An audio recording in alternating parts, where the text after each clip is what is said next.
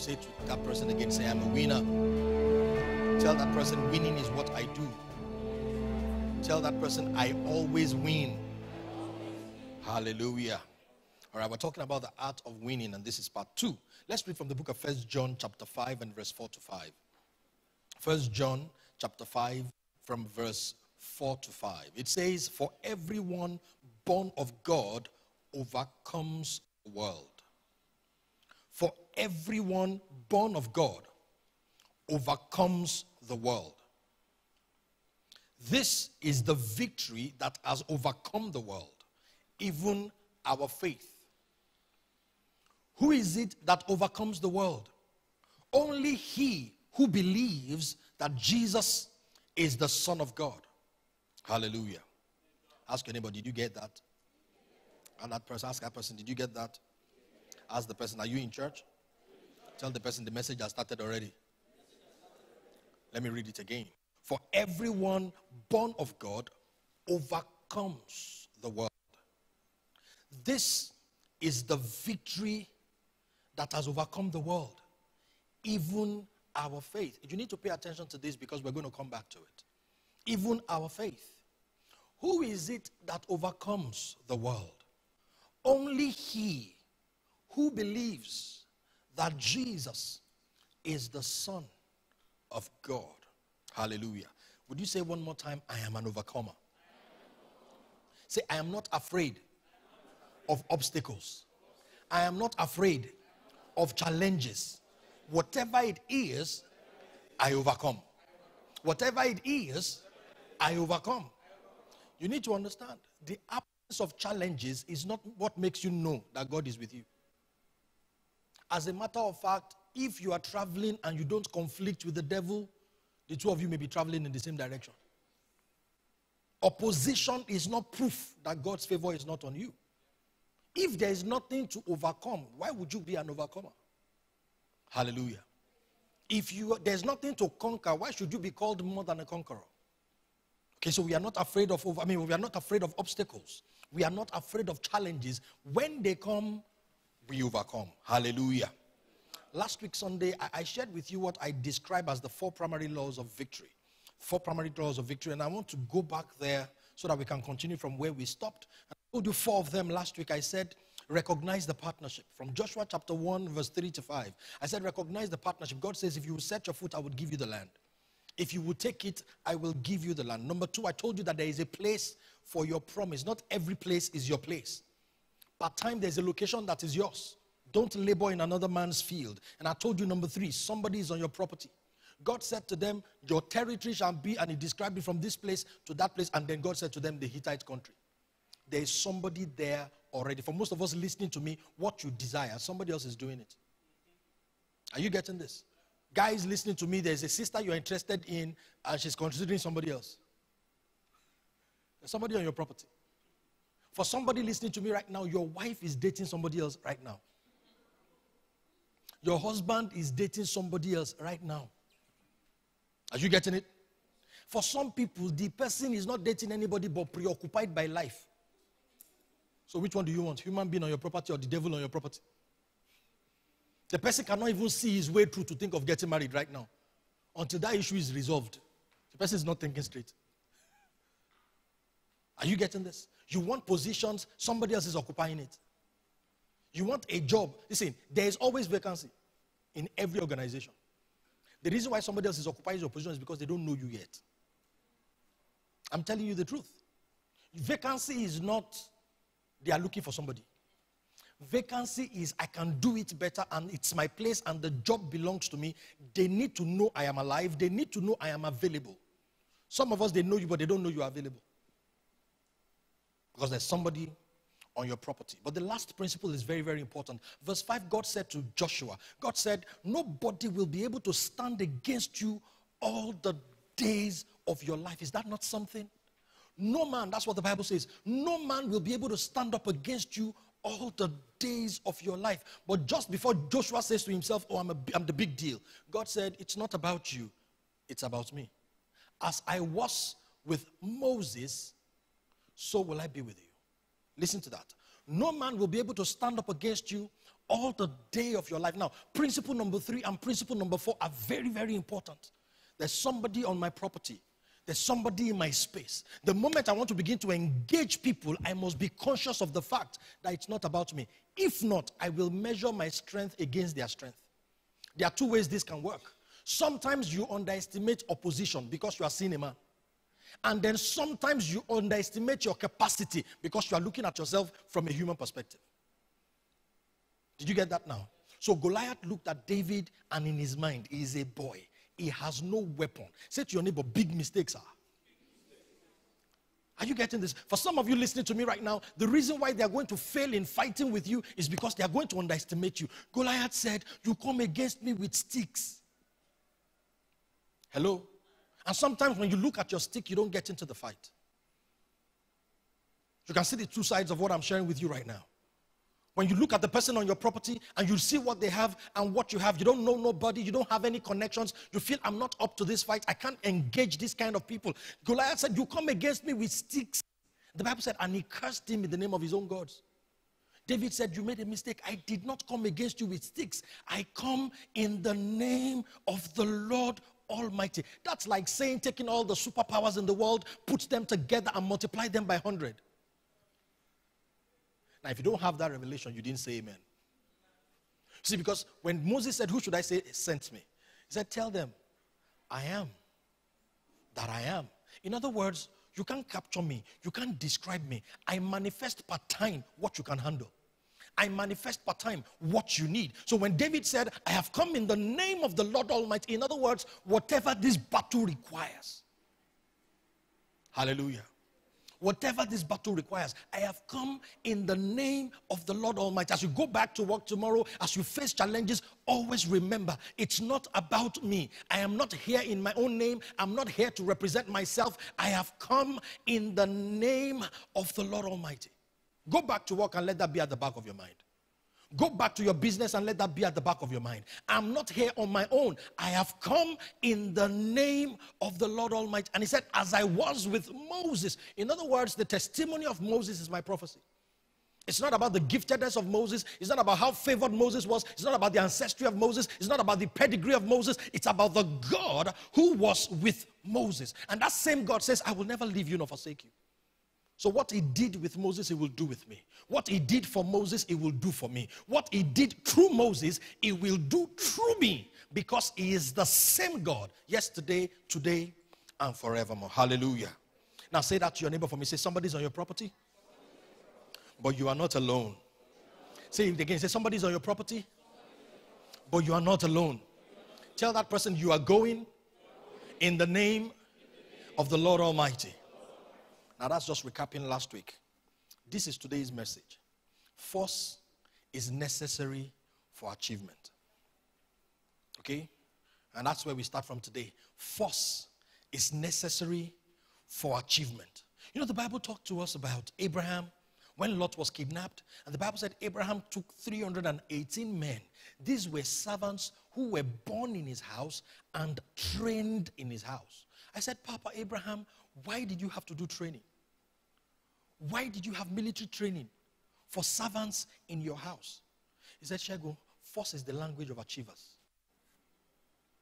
Are you listening to me? Force is the language of achievers. You need to understand that Abraham lived, okay, way back in those times where the, the strongest man is king. And please, you need to understand in our own time too, the strongest man is king, but I'll describe that to you later. So you see, Abraham understood. If I'm going to let me help you understand what I'm saying. In those days, for you to have something, you look at it, you like it. If you are stronger than the person who currently occupies it, you take it from him. That's it. So if you don't want your property to be taken, you have to defend your property. And how is Abraham going to defend his investment, defend his business? Is to have guys in his house who can defend themselves. The quality of training Abraham gave his guys was as such that they could fight kings. And all he had was running a business. Okay, because it takes force. Okay, it takes force to achieve. It takes force to achieve. I'm going to talk specifically to most of us, we are still young. Okay, and please, you need to get this. It takes force to take off. It takes force to take off. You're just newly married, you're just starting out your life. Listen, if you are below 50 listening to me, it takes force. Some of us are working a job right now and, and you need to move to your own business or you need to go to another job. It takes force to take off. Let your neighbor understand what I'm saying. Tell the person, Pastor preached the message a couple of weeks ago. Do you have a copy of it? Tell the person it is titled Don't Settle. Listen. Because even at your next level, if you settle, it will be difficult to take off. And that's what happens to a lot of people. You've been afraid, will I ever make it? Will it work? Will I ever get married? And then you get a job, you get a car, you get married, you get some kids, and then you settle. And when it's time for God to shift you to the next level, God finds it difficult to move you because you settled. In recent time, all my messages are connected. If you listen to the Thursday message, you would realize that you've got to be flexible. See, but it's difficult for people who have settled to be flexible. And a lot of times, the opportunities that would shift you in life come as surprises, they come as interruptions. Imagine if Mary had 21 days to go and pray about birthing Jesus. For some of us, it will take God over 40 days to convince you. Don't abuse Peter, it took a few hours. We won't know Peter but for that he preached the first message to the Gentiles. To that complete change of direction came as an interruption in his life. But thank God he was flexible enough. I don't know if you understand what I'm saying. See, let me say this for most of us listening to me, the things you have planned for 2019 are not enough to take you to where God is taking you to. So God would allow you to go ahead with your plan, but in the course of the year, God will give you surprise opportunities if you are flexible. One, two, if you have been training for it. At the end of the message, I'm going to talk to everybody about the overflow, okay? The extra space we just acquired and the plan we have for it. The opportunity came on Monday, we sealed it on Tuesday. You know the reason why? It's just extra space, a total of about 151 square meters. Before then, what I'd been thinking about is buildings, is land. I've been thinking of thousands of square meters in my head. I don't know if you understand what I'm saying. What I think about regularly is how we're going to get this massive piece of land, okay, in the Ikoyi or Lekki area to build church. So by the time somebody came with 151 square meters, it was not difficult for it to fit because you see, my heart at that point was larger than that.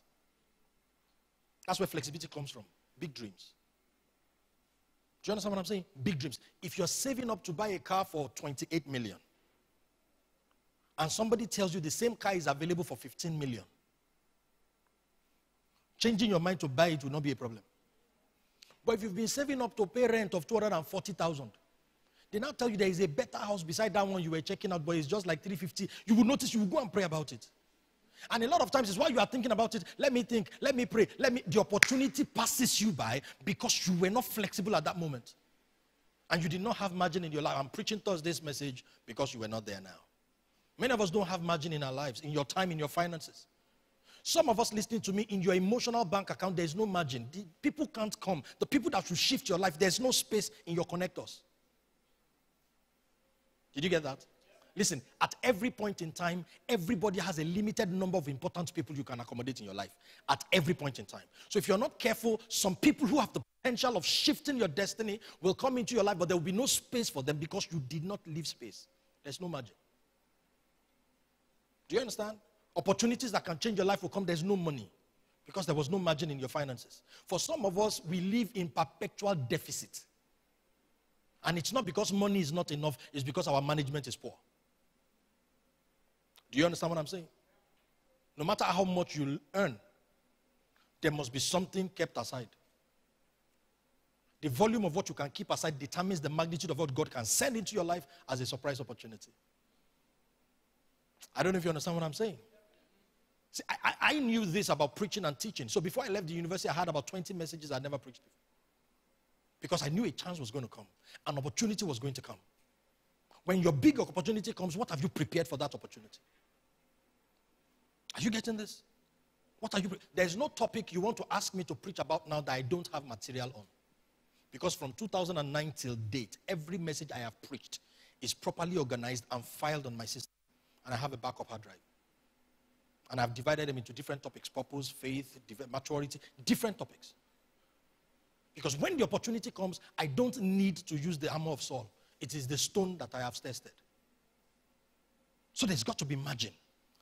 There's got to be margin in your life. If not, it's your next level. There was a time it was your next level, but now it has become your norm. And you can't take us from there because there's you need force and you don't have that force. I'm going to explain what I'm trying to say to you. To achieve your dreams and to fulfill your purpose, you have to contend with gravity and resistance. I'm using those words to describe something I need you to understand, and I would explain myself to you. Somebody say gravity. gravity. Say resistance. One more time, say gravity. gravity. Say resistance. Now, listen to this. To achieve your dreams and to fulfill your purpose, you always have to, or you will always have to contend with gravity and resistance. This is what I'm saying. When you move from one level to the other, that new level becomes, oh, the new level. After some time, it becomes normal. For you to shift to a higher level there, you will contend with gravity at that level. When you get to the next level, when you settle, if you allow yourself to settle, when it's time to move, you still will have to contend with gravity. So, what is gravity?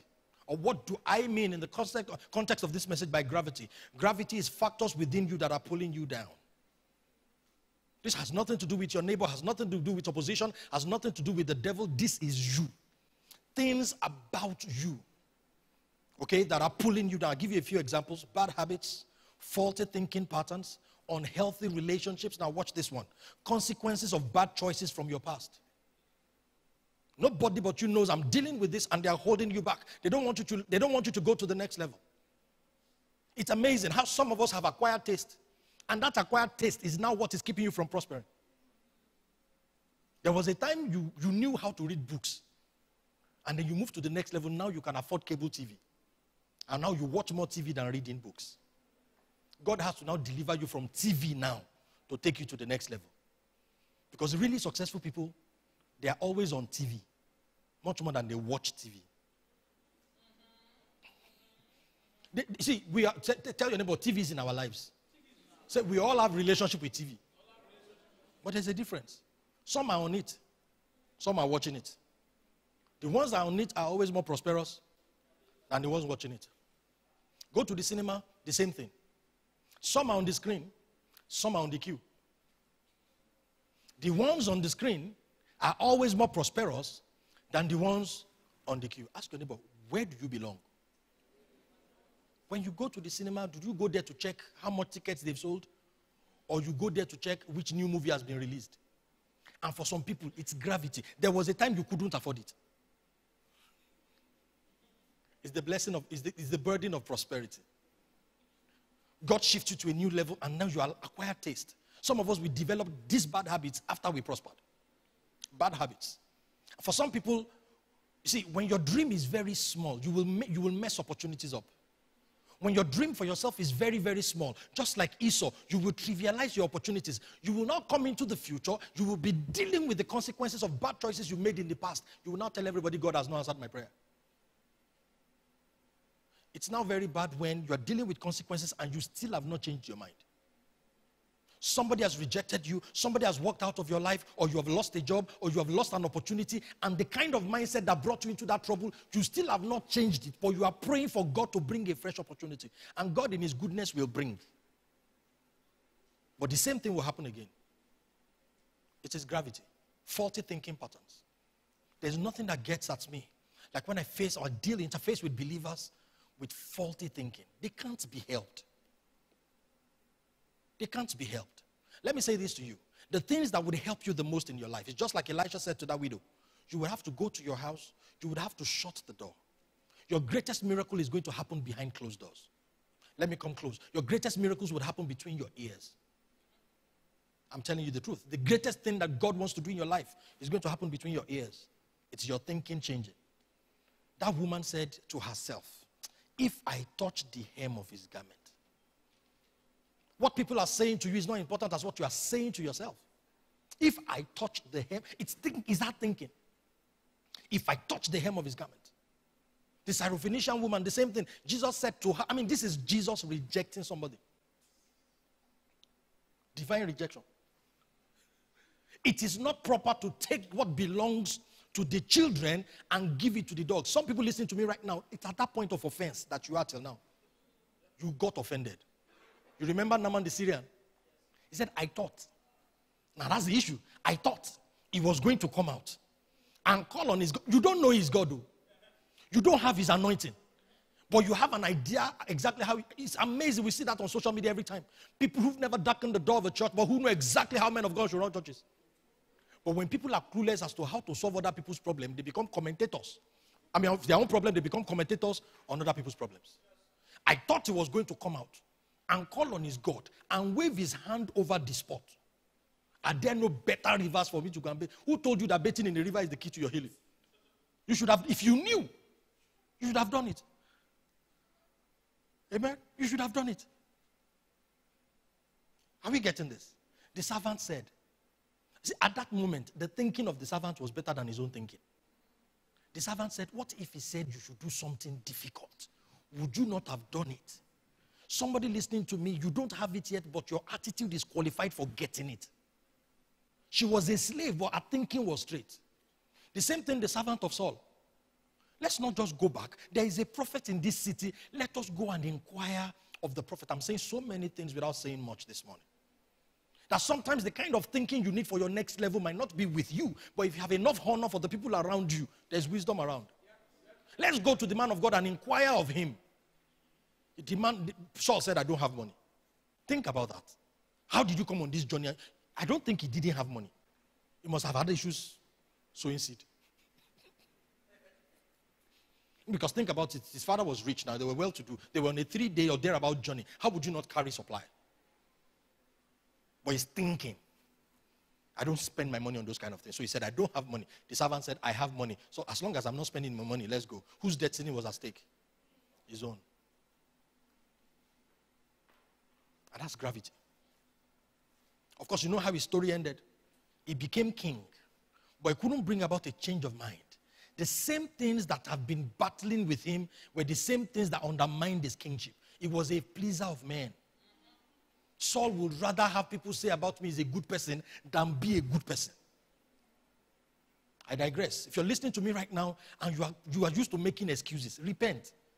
Because it requires the same intelligence. It's just thinking that is messed up. And for so many people, your blessing is hanging, but gravity will not let you go. Unhealthy relationships. Blood is thicker than water, be? Spirit is thicker than blood. Purpose is thicker than spirit. Do you know what that means? If we are family, I relate with you to the degree to which you align to my purpose. If we go to the same church, I align with you or I relate with you to the degree to which you are aligned to my purpose. Don't have people in your life just because we came from the same village or we came from the same womb. Cain killed Abel. They came from the same womb. Say, say, say to your neighbor, it's not enough. Tell the person that you are my brother, that my brother, that you are my sister, is not enough. Tell that person that we go to the same church is not enough. It's got to be purpose. Are we getting this? And listen, and relationships expire. Oh, are you listening to me this morning? Relationships expire. People don't understand. Relationships expire. If you're like some of our mothers, when the neighbors brought cake and she rationed it, how many people had a mother like mine? She just don't want you to eat everything together. Then she keeps it.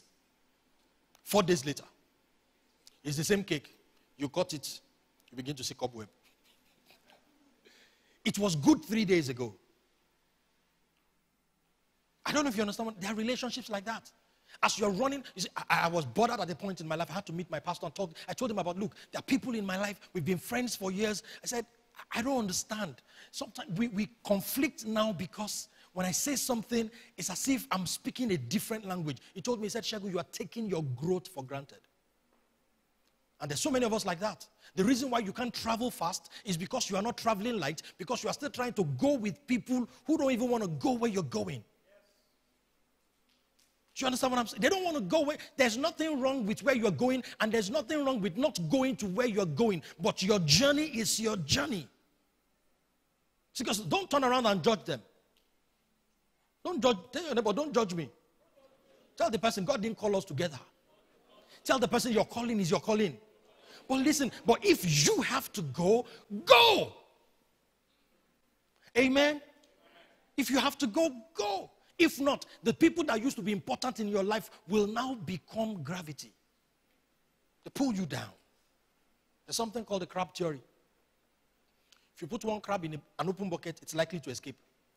The moment you put more than two, it's going nowhere. Because when one crab is trying to climb out, the other one will pull it down. When you are with people, I taught you that last week. When you are with people that can only be happy when they pull you down, you are in the wrong company. They are happy for you as long as your miracle is smaller than their own. John, have you met people like that before? Even when you are talking trouble, they want bigger trouble. So can you imagine? The guy did this to me, he did that to me. So, ah, your own is small. If you know what, switch it. You're talking about you bought this bag. Man, if you see the other one I bought, they are only happy when they are better than you. Check out. Check out. Anybody that cannot be happy for you, just full stop. Don't mess up my testimony with an explanation. So I'm like, congratulations. Eh, but ah, are you sure you'll be able to afford? What's your own? If it is congratulations, it's congratulations. T- they will just look for something. So are you sure? Are you ah hmm, hmm, men? Hmm. Ladies, listen to me. Stop taking advice, relationship advice from people who are not in a relationship. Hello. Say, ah, Farah, congrats. Eh? You guys have big dates, Abby. Mm, be careful. Mm. This man, ask her, where's your own? Don't take advice about men from somebody who does not have a man. If you don't want what I have, don't take my advice.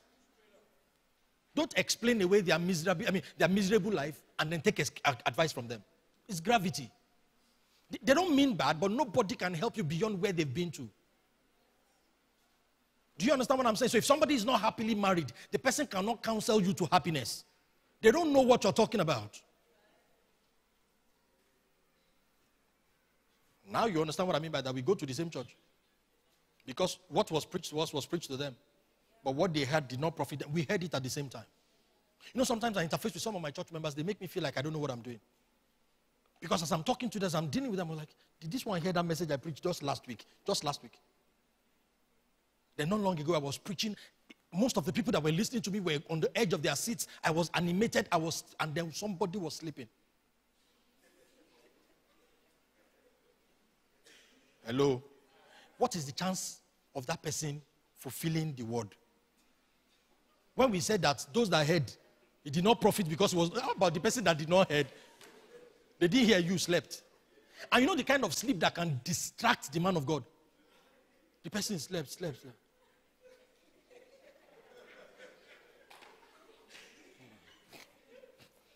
And I was preaching. And I was live. Okay, you know the way you're live, you can't even. Um, you know me, I'm a very good pastor. I will arrange your destiny. I'll pause the message and help you. But we were live. I couldn't do anything.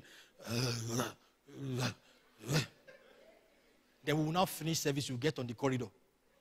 The person will now be advising you.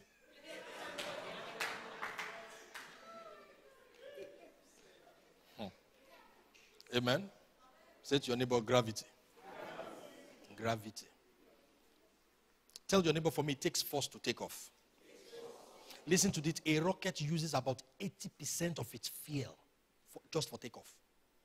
A rocket, 80% of its fuel. When they're planning everything, when they load the tank, 80% of the fuel is just for taking off. For most of us, you want to move to another level, you want to break new grounds, you want to do something you have not done before, you need to build energy. That's what Abraham was doing, even though the battle that was coming. It gets on my nerves when I see young people who are not getting ready for anything. They give you small opportunity, you, you tear the place. Victor, are you listening to me? They ask you to sing a song, sing like it's experience. That is the only basis upon which you will get to experience. But if you keep thinking it's just a midweek service, uh, it's just worship after the message, uh, they just told me to back out. You may back up. You are never going to get there. David was just a shepherd boy. His brother told him when he was to fight Goliath. He said, With whom have you left those few sheep? It was with those few sheep that somebody now described is a valiant warrior, is fine in business, is a wonderful worshiper. The Lord is with him. All they said was, Look for somebody who knows how to play. Look at his description. He was overqualified for the job. Hey, but he was not getting ready to be a music player, he was getting ready to be a king. It's not about your location, it's about your vision, your destination. What are you getting ready for? Let me move on and talk about resistance. Resistance. Resistance now is external factors that are working against you. External factors that are working against you. And it is at this point that we start talking about competition. Okay, you've always always to have to remember you are not the only one who wants it. Okay, throughout the history of mankind till date, the strongest man is king. But with the advancement of civilization, warfare gave way to competition. Man evolved from using physical force to using strategic advantage. Are you getting this? We are still in warfare nonetheless, but we don't call it warfare anymore because people don't die. But it is strategic advantage. If it is you against the world, you need to understand. Because you represent God and because you are about God's mandate, you ought to be in charge. Everybody listening to me needs to go back to work and get angry. If an unbeliever is your boss, it's your fault. Hello? I said, if an unbeliever is your boss, it's your fault. Because you have what it takes to dominate. The easiest way to make you an unbeliever is not your boss, is to start your own business. If you are listening to me right now and you don't have a dream to start anything, you are part of the problem of this nation. Because I saw so many Christians who don't want to take responsibility for anything. You want it to be, and that's why people are trying to run away. The ones that just want to run away. You want a country that works and you don't want to make it happen. And if you're not careful, you will get there and I don't want to mention names. There are places in countries that they say when you get there, they blindfold you and you hear what's happening there. You will think you're in Lagos. In Idumota to be precise. When you open your eyes, you see, uh, it's my people. Are we getting this? You've got to take responsibility. When are you going to start something? Okay, even if you don't start it, be the one in charge. Be a prince in Egypt, not a prince in church. And that's why I was jostling, I was jostling for position. I'm, I'm HOD. You, you know when you came? Paul said, It has always been my ambition to preach the gospel where no other person has. I don't want to build on anybody's foundation. He said ambition. He didn't say direction. He didn't say purpose. He didn't say God's instruction. It's an innate desire to honor God with achievement. So when you now begin to talk about competition and it is a fellow believer, you need to understand that the person is a brother doesn't mean the person should step down for you. Because the world deserves the best of us. That is where competition comes in. Competition is not warfare. Warfare is the elimination of opposition. Competition is giving people the opportunity to pick the best of two or more alternatives. That's the kind of warfare I'm talking about. That's the kind of warfare I'm talking about. You can ask these guys, they know. Leading worship in this church is not automatic and it's not democratic. The microphone is never going to go around. Because every time we come to church, our destiny is at stake. Do you want the best worship leader to lead you in worship? Answer me. Or do you want just the next person? I'm telling you the truth. It's possible to come in a service and sick is healed. Because when God inhabits the word praises of his people, it begins to touch us, it begins to heal us, it begins to instruct us. Why should we all come to church and watch one person to encourage the person? So everybody all the good singers, just let's just encourage him. Let's just encourage her. So as the worship is going on, we are singing the song by ourselves. The person is not leading us, we are going together.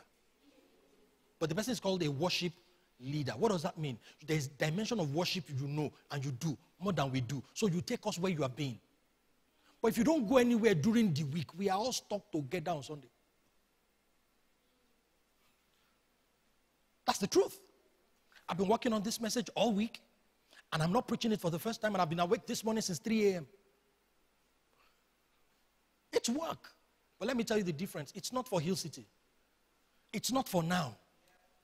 10 years from now, 20 years from now, I'm still going to preach this message. Every time I preach it, it's a rehearsal for a better time. That's the truth. Why should I preach it to 200 when I can preach it to 20 million? The same message. Are you here this morning?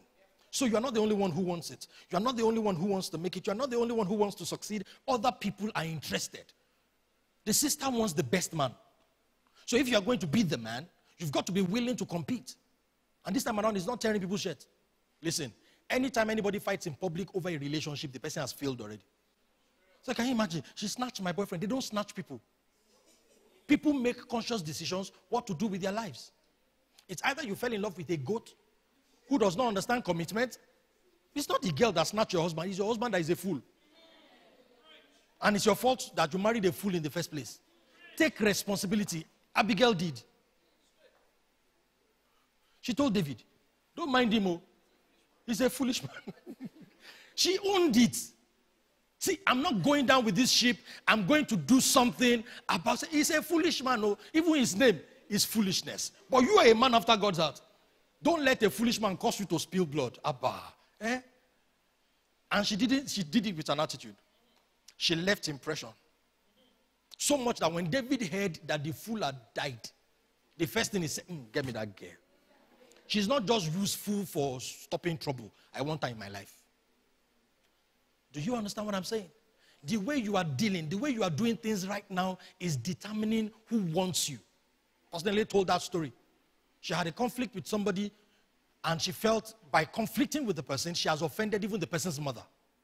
So she went to apologize to the mother on her two knees. I went there to buy bread. As I was buying the bread, she came. She didn't even wait for me to go. She was like, Mommy, eh, I'm so sorry. Eh? And she knelt down. Mommy, I'm happy. I just stood there. Said, ah, whose damsel is this? Ah, in this campus, there are still people like this? Is that not like the story of Boaz and Ruth? Yes. As she was gleaning behind the reapers, I said, Whose damsel? This one is different. Do you understand? Don't just say somebody took, they didn't take your husband. You lost your husband. They're two different. They, nobody took your job. Say the moment he came to our office, your guy just stopped looking at some of us every time. Nice, for sure, for sure. For sure is better than you. He's more competent, and he's just 20 years old. Is it because he has a foreign degree? No, they didn't teach them. They say he didn't buy a handout. He went for lectures. He was educated. He is solving problems. Are you saying just because it's privileged? No, you can buy books. You can read books. You can take online courses. They are free of charge. Not your neighbor, tell the person that you can do something about it. See, listen, it's warfare. Are you getting this? It's warfare. There's nothing as terrible as when a believer is oblivious of the battle going on. I was not the only guy.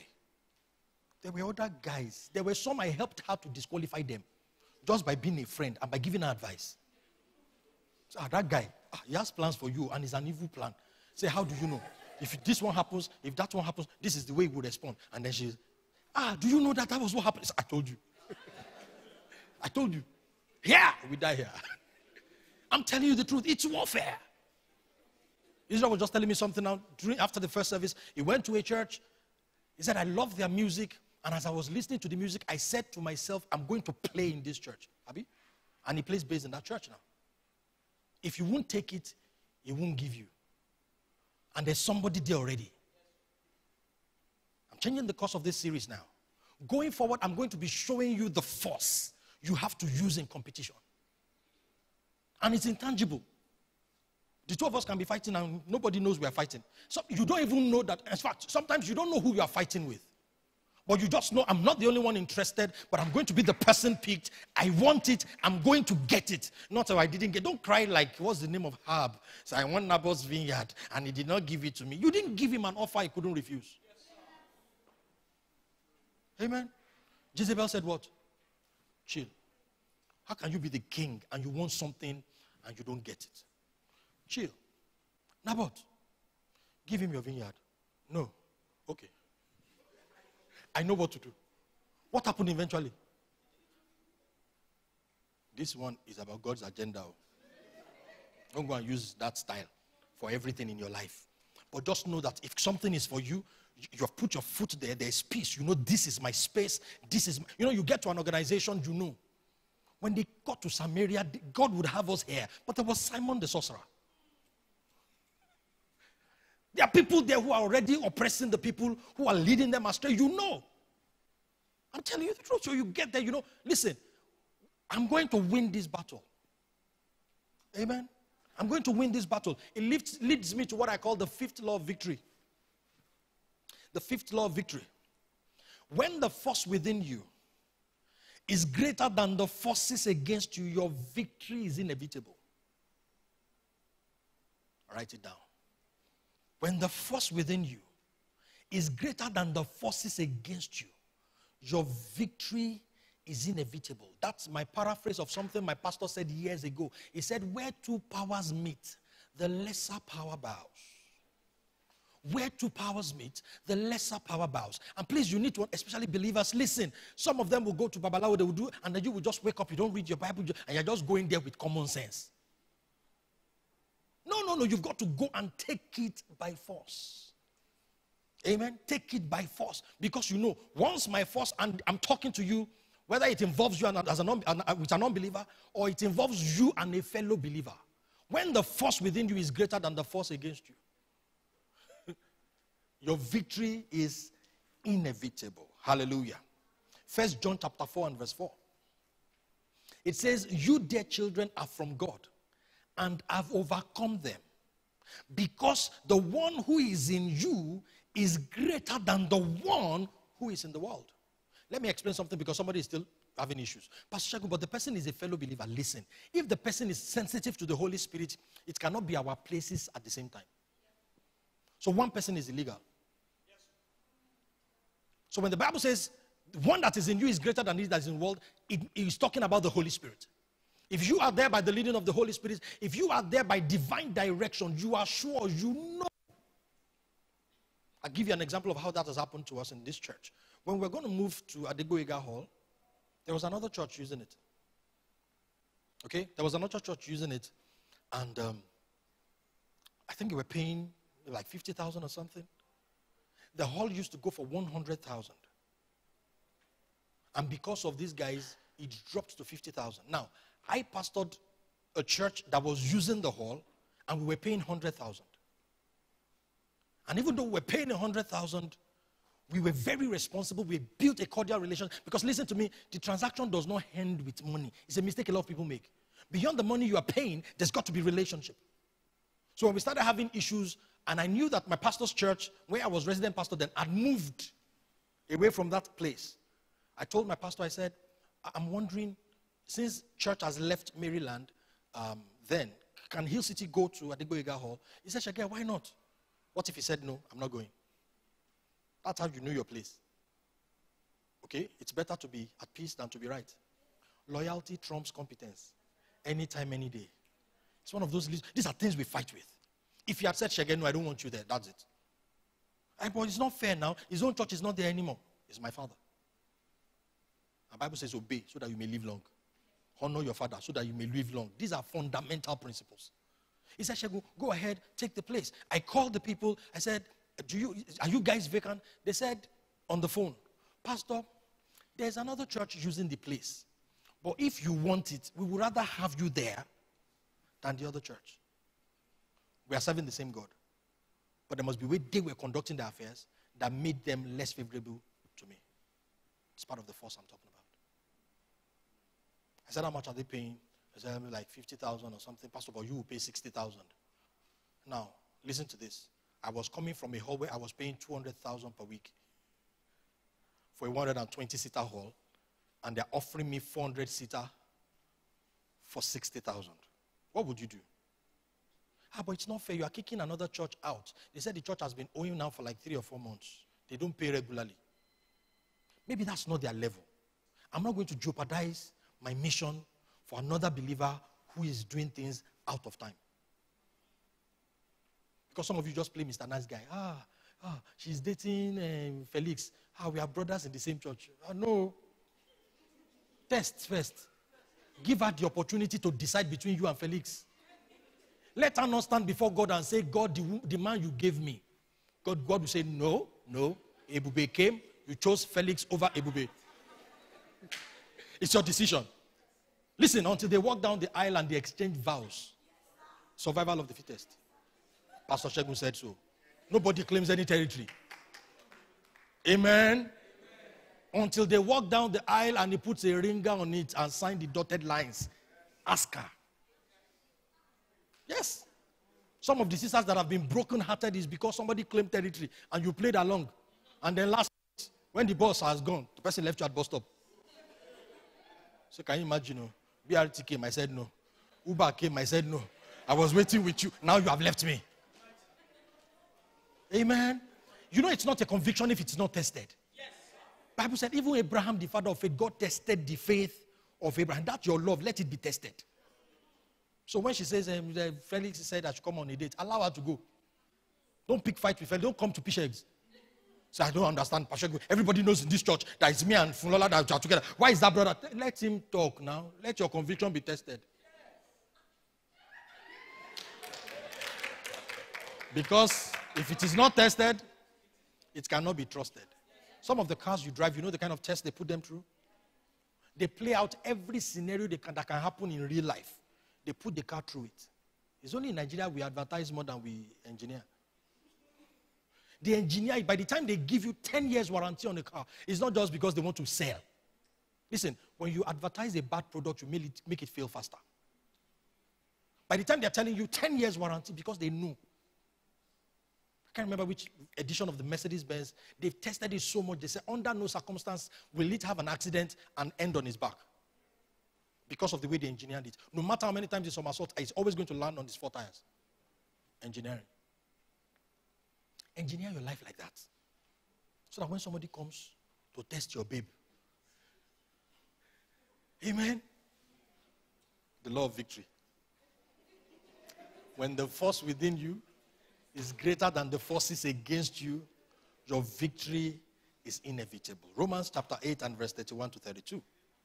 It says, What then shall we say in response to these things? If God is for us, who can be against us? He who did not spare his own son, but gave him up for us all, how will he not also, along with him, graciously give us all things? If I don't have it, it is not because God does not want to give me. He has given me his most important possession. Why will he hold back anything? Hallelujah.